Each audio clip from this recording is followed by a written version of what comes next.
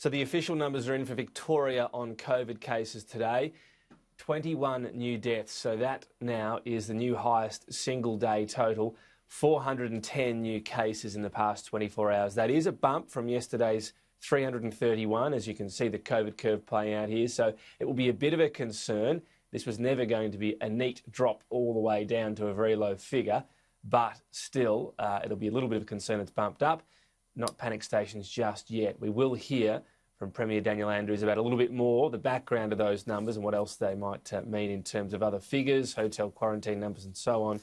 Uh, we'll, we'll take that news conference as soon as it begins. We haven't had the timing on that as yet.